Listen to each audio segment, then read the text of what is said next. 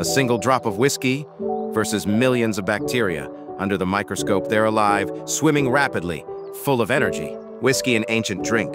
First distilled by monks in the Middle Ages, now drunken by me on a Friday night. Whiskey's alcohol is around 40% concentration and breaks apart the bacteria's cell walls, killing them. Here, about one drop of whiskey is taken, the rest is passed through someone's liver. Five, four, three, two, one.